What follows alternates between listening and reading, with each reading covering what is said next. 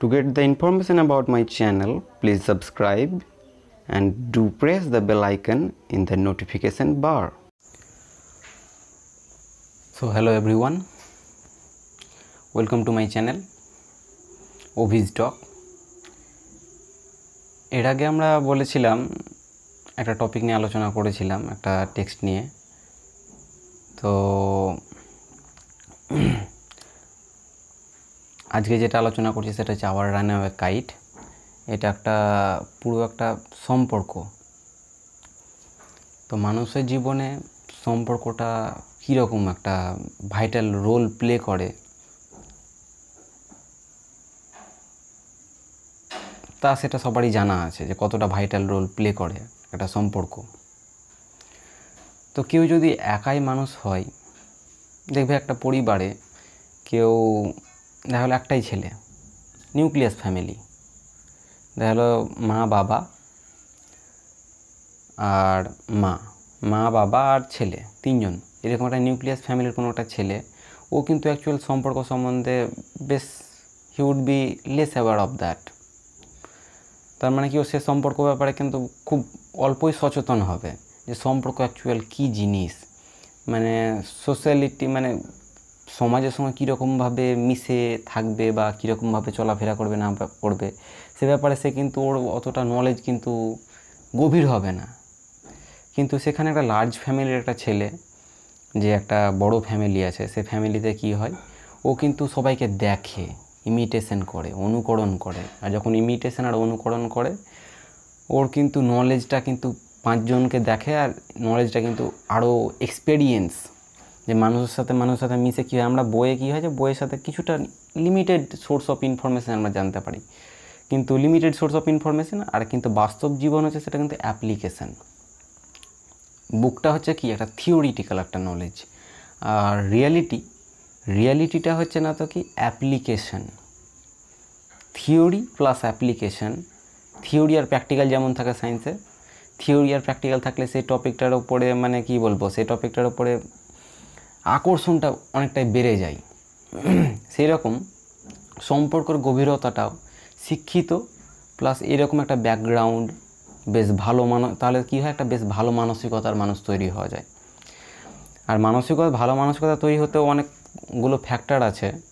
তো সেই ফ্যাক্টরগুলো নিয়ে আলোচনা করব। মানে আমার কাছে এখন ইকুইপমেন্ট সেরকম নেই। যে না, আমি ক্যামেরার সামনে আসব দিয়ে এসে কথাগুলো বলব। সেরকম ইকুইপমেন্ট এখন আমার কাছে নেই। কিন্তু যখন হয়ে যাবে, তখন আশা করি এই ব্যাপারগুলো টপিক নিয়ে বেশ আলোচনা করা যাবে। কারণ একটা আমার মেল দিয়ে দেবো। আমার মেলে সব টপিক যে কেউ সেন্ড করবে ইমোশনাল রিলেটেড কারণ মানুষের কি করে, মানুষ যে একটা খারাপ সিচুয়েশনে পড়ে, গিয়ে কি করে? খারাপ সিচুয়েশান থেকে খারাপ নলেজটা নিয়ে সে কী করে যে, না তো কি আরও কী করে আরও পাঁচজনকে দুঃখ দেওয়ার চেষ্টা করে?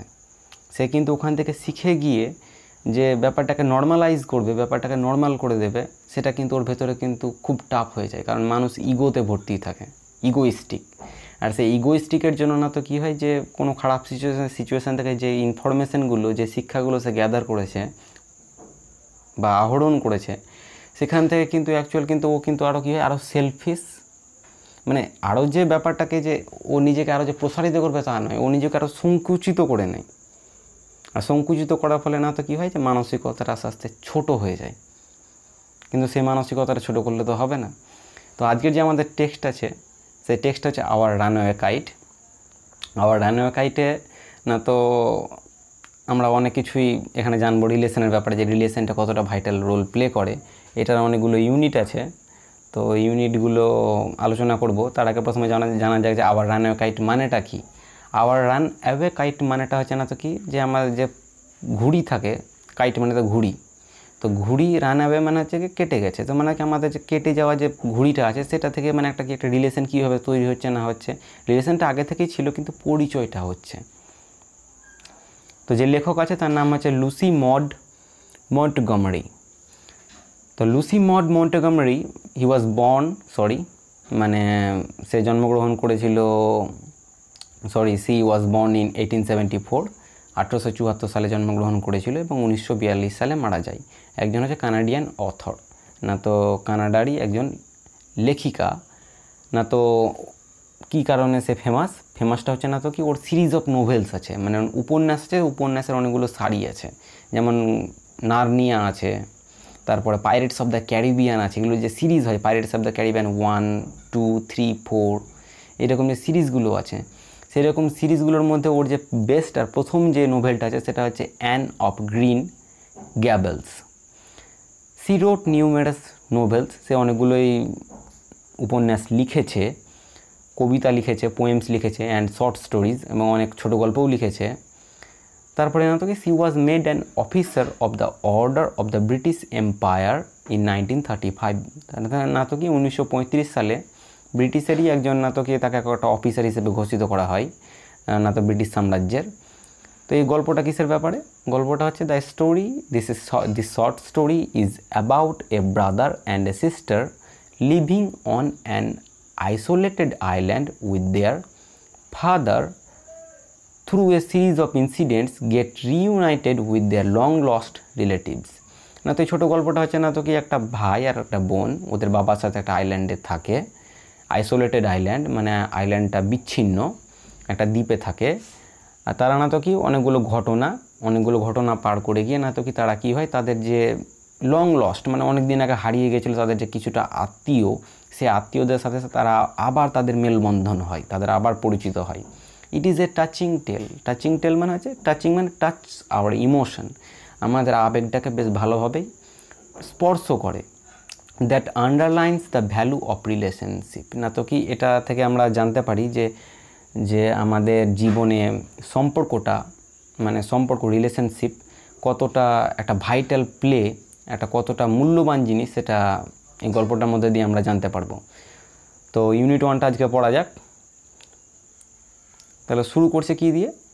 শুরু করছে এই দিয়ে যে of course there was nobody for us to play with on the Big Half Moon বলছে সত্যি কেউ ছিল না আমাদের সাথে for us to play with on the Big Half Moon না তো বিগ হাফ মুন সেই আইল্যান্ডটার নাম।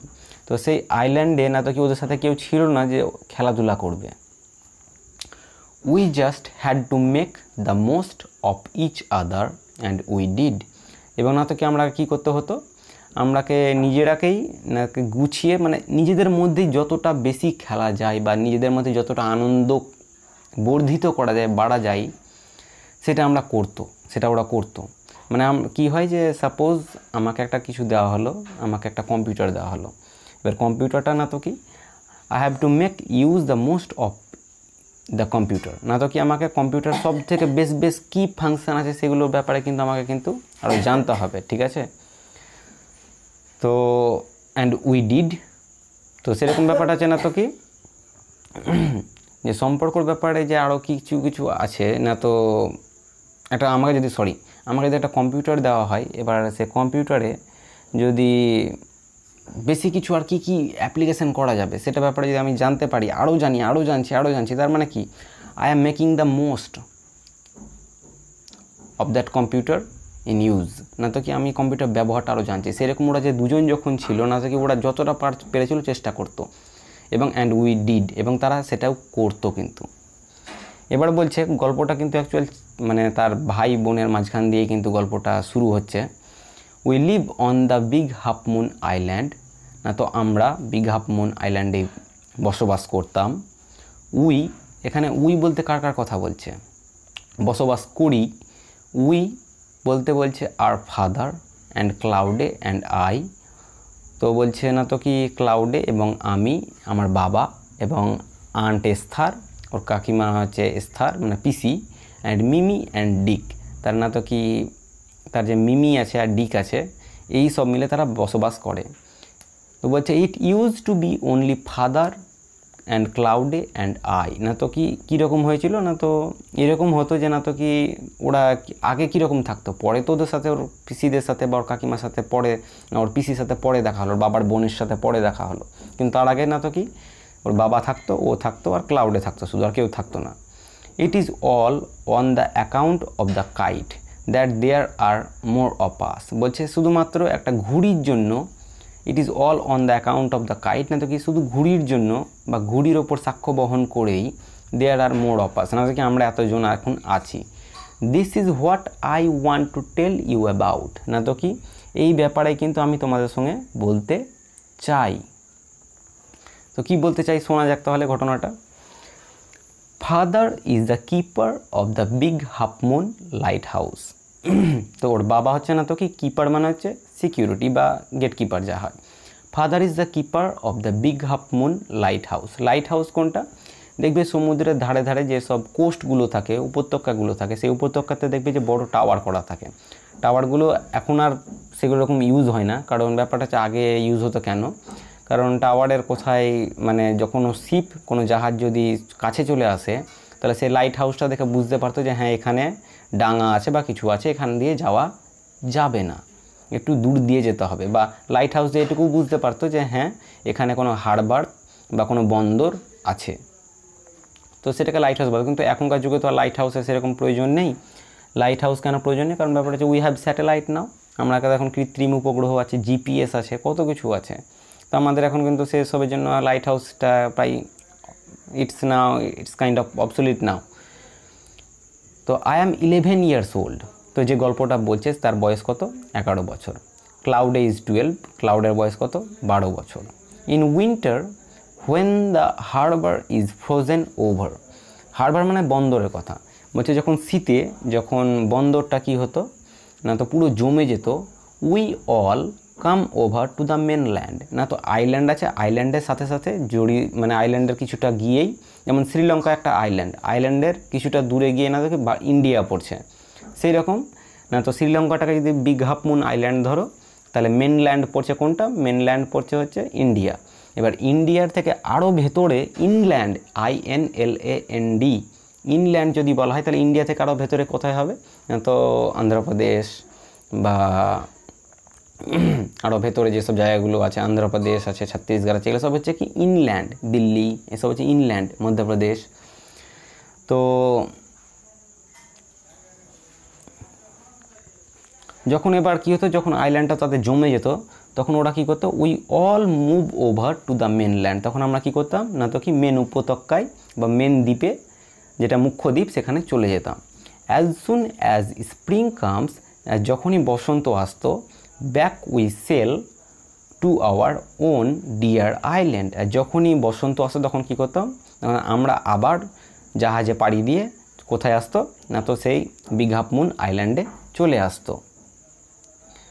তো এবার বলছে কি the funny part use to be that বলছে সব থেকে মজাদার যে অংশটা হচ্ছে the funny part use to be that না তো মজাদারের যে অংশটা ছিল, সেটা কি ছিল? পিপল অলওয়েজ পিটিড আস না তো মানুষজন কি করতো? মানে তাদের কি করতো? করুণা করতো। কোন মানুষজন? যারা মেনল্যান্ডে থাকতো। When the time came for us to return যখন সময়টা হতো, যখন বসন্ত চলে আসতো, আর ওরা মেনল্যান্ড থেকে মেনল্যান্ড ছেড়ে যখন চলে আসতো আবার আইল্যান্ডে তখন কি হতো? যে মানুষজনগুলো থাকতো, তারা তাদের ওপর করুণা করতো। তাদের ওপর করুণা করতো কী কারণে? যে হ্যাঁ তারা আবার চলে যাচ্ছে, তা আবার কীরকম থাকবে, না থাকবে, ওখানে যারা ভালোবাসতো ওরাকে। দে সেড তারা বলতো, যারা মেনল্যান্ডে বাস করতো, মূলদ্বীপে, তারা বলতো যে we must be so lonesome over there তারা বলতো, তোমরা খুব ওখানে একাকিত্বই থাকো। লোনসাম মানে হচ্ছে একাকিত্ব। তোমরা বেশ ওখানে একাকিত্বভাবেই থাকো। With no other children near us কোনো ছেলেপিলে নেই তোমাদের কাছে। তোমরা দু বোন, তোমরা শুধু ভাই বোন। Of course Claudie and I would have liked to have someone to play with us বলছে, সত্যি? ক্লাউডে এবং আমি পছন্দ করতাম যে কেউ একজন থাকুক যে আমাদের সাথে খেলাধুলা করুক। Like to have someone যে কেউ একজন থাক যে তার যাদের সাথে টু প্লে উইথ আস যাতে আমাদের সাথে খেলাধুলা করবে। It is hard to run pirate caves and things like that with only two বলছে এটা খুব কঠিন ছিল, যখন আমরা পাইরেট স্কিপ খেলতাম, দস্যু দস্যু খেলতো ওরা। তখন মানে কি দুজন মিলে দস্যু দস্যু খেলাটা একটু বেশ টাফ হতো, একটু কঠিন হতো। এসব খেলাগুলো খেলতে ওদের বেশ কঠিন হতো। একটা খেলার নাম হচ্ছে pirate caves but we use to quarrel a good deal with the mainland children in winter কিন্তু শীতের সময় ওরা কিন্তু কি করতো, যে মেনল্যান্ডের যেসব ছেলেদের সাথে ওরা খেলতো শীতের সময় মেনল্যান্ডে গিয়ে মূলদ্বীপে, তখন কিন্তু তাদের সঙ্গে বেশ ভালো ঝগড়া করতো। মানে ওরা ঝগড়া করতো, আমরা ঝগড়া করতাম। উই ইউজ টু কোয়ারেল না আমরা ঝগড়া করতাম। এ গুড ডিল মানে বেশ ভালোভাবে ঝগড়া করতাম। With the mainland children win winter না তো শীতের সময় so it was perhaps just as well that there were none of them on the big half moon. তো ওরা এইভাবে সম্ভবত এটা হতে পারে যে আমাদের কেউ ছিল না হাফ মুনে তো সেরকমভাবে ওরা কিন্তু ওই কথাটাকে বলার চেষ্টা করতো। So, it was perhaps just as well that there were none of them on the Big Half moon. Claudie and I never quarrelled বলছে ক্লাউডে আর ও কিন্তু কখনো ঝগড়া করতো না। ঝগড়াটা হতো কাদের সঙ্গে? ওদের সাথে ঝগড়াটা হতো। ঝগড়াটা হতো ওদের সাথে। তাহলে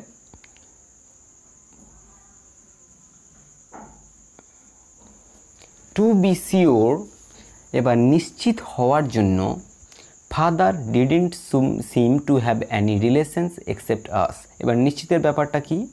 না তো ওর বাবার কোনো সম্পর্ক ছিল না। কাদের ছাড়া? এক্সেপ্ট আস মানে না তো কি তার দুই, তার যে এক ছেলে, এক মেয়ে আছে, সে তাদের ছাড়া কোনো সম্পর্ক তার বাবার ছিল না except us this use to puzzle Claudie and me বলছে, এটা বলছে যে এটা আমরাকে মাঝে মধ্যেই কিন্তু হতবম্ব করতো, আমরা অবাক হতাম। দিস ইউজ টু প্যাজেল আমরাকে, আমরা এটা তো অবাক হতাম। না, কে কে না তো ক্লাউডে আর ও মানে যে গল্প বলছে, ওর নামটা হচ্ছে ফিলিপা লিটি অ্যাকচুয়াল যে গল্পটা বলছে। Everybody on the mainland had relations না তো কি মূল দ্বীপে যারা যারা থাকতো মেনল্যান্ডে তাদের প্রত্যেকের কিন্তু সম্পর্ক ছিল। হোয়াই হ্যাড নট উই আমাদের কেন সম্পর্ক নেই? Was it because we lived on an island তার কারণটা কি? এটা ছিল যে আমরা একটা দ্বীপে বাস করি বলে সেই জন্য আমাদের কোনো সম্পর্ক নেই। উই থট আমরা ভাবতাম it would be so jolly বলছে এটা খুব আনন্দ আনন্দিত বা আনন্দদায়ক ব্যাপার হবে। To have an uncle and an aunt তো খুব আনন্দিত হবে যদি আমার একটা কাকু বা একটা কাকিমা থাকতো অ্যান্ড সাম কাজিনস না তো কি কাকার ছেলে মেয়েরা যদি থাকতো, তাহলে বেশ আনন্দিত হতাম বা ব্যাপারটা খুব আনন্দদায়ক হতো। Once we asked father about it একবার আমরা কিন্তু বাবাকে জিজ্ঞেস করেছিলাম এইসব ব্যাপারে। But he looked so sorrowful কিন্তু বাবাকে খুব দুঃখপূর্ণ দেখিয়েছিল। কথাটা মানে জিজ্ঞেস করেছিল দিয়ে ওর বাবাকে খুব দুঃখপূর্ণ দেখিয়েছিল। That we wished we had not এবার আমরা আশা করেছিলাম যে বোধহয় প্রশ্নটা করাটা ভুলই হয়েছে উই হ্যাড নট আমরাকে জিজ্ঞেস করা উচিত ছিল না। দ্যাট উই উইজড আমরা আশা করেছিলাম যে আপনাকে জিজ্ঞেস করাটা উচিত ছিল না। কারণ প্রশ্নটা জিজ্ঞেস করার পর ওর বাবা কিন্তু খুব দুঃখ মানে বেদনাদায়ক বা দুঃখপূর্ণ হয়ে গেছিল। দুঃখে ছিল প্রশ্নটা করার পর। He said it was all his fault সে বলল যে না তো কি? তার বাবা বলে উঠল যে, সব আমার দোষ। Claudie and I did not understand what he meant Claudie এবং আমি কিন্তু একটুও বুঝতে পারিনি যে অ্যাকচুয়াল বাবা কি বোঝাতে চেয়েছিল। যে ওর বাবা যে বলল যে, না তো কি সব আমার দোষ। তো এই কথাটার মধ্যে দিয়ে ওর বাবা কি বোঝাতে চেয়েছিল সেটা কিন্তু বুঝতে ওরা পারেনি। তো ইউনিট ওয়ানটা ইউনিট ওয়ানের যেসব অ্যাক্টিভিটিগুলো আছে সেগুলো করে রাখার চেষ্টা করবে। আর তাছাড়া গল্পটাও বেশ ইন্টারেস্টিং রিলেশনের ব্যাপারে, সম্পর্কের ব্যাপারে গল্প। আর সত্যি সম্পর্ক একটা ভাইটাল কারণ বন্ধু বন্ধু মানেও একটা বিশাল সম্পর্ক। মানুষের মানুষের যদি বন্ধু থাকে, তো সেটা একটা বিশাল সম্পর্ক। আর ইউনিট টুটা এরপরে ভিডিওতে পেয়ে যাবে। So hope for the best and stay tune to my channel